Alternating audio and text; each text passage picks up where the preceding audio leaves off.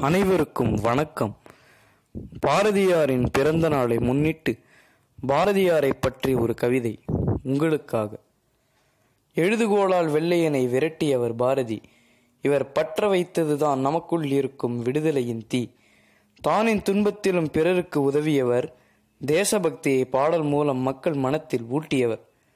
இவர் பாரத மாதாவை துதித்தவர் அதேபோல் வாழ்வின் கொள்கைகளையும் மதித்தவர். இவரிடம் பலருக்கு பிடித்தது இவரின் வீரம்.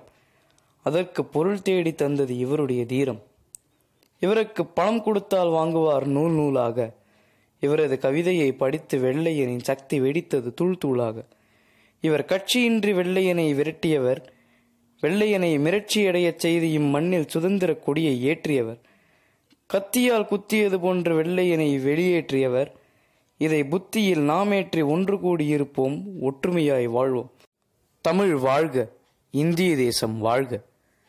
நன்றி வணக்கம்.